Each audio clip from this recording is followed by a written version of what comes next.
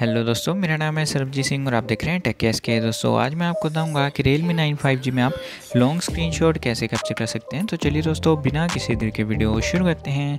इसके लिए दोस्तों, आपको जहाँ पर भी लॉन्ग स्क्रीनशॉट कैप्चर करना है, वहाँ पर चले आना जैसे कि मैं सेटिंग्स में चले जाता हूँ।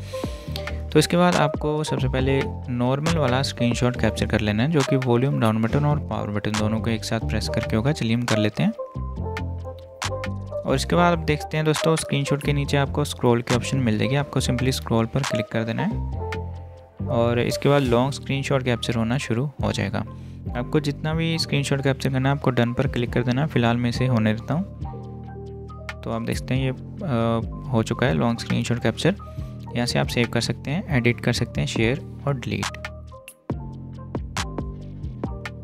तो ऐसे दोस्तों रियल Realme 9 5G में लॉन्ग स्क्रीनशॉट कैप्चर करना है।